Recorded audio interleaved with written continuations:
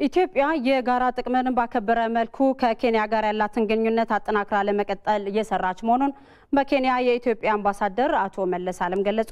አምባሳደር መለስ የኬንያና የኢትዮጵያ ግንኙነት ዘመን የተሻገረ መሆኑን ጠቅሰው የመደመር እሳቤን እንደ ኬንያ ያሉ የጎረቤት ሀገራትን ጭምር ታሳቢ ያደረገ ነው ብለዋል። በመጪው ህዳር 23 በናይሮቢ ይመረቃል ተብሎ የሚጠበቀውን የጠቅላይ ሚኒስትር ዶክተር አብይ አህመድ የመደመር መጽሐፍ በተመለከተ አምባሳደር መለስ ከኬንያ የመገናኛ ብዙኃን ጋር ባደረጉት ቆይታም ኢትዮጵያ ከኬንያ ጋር ያላት የውጭ ግንኙነት የተሟላ እንዲሆን እየሰራች መሆኑን ገልጿል።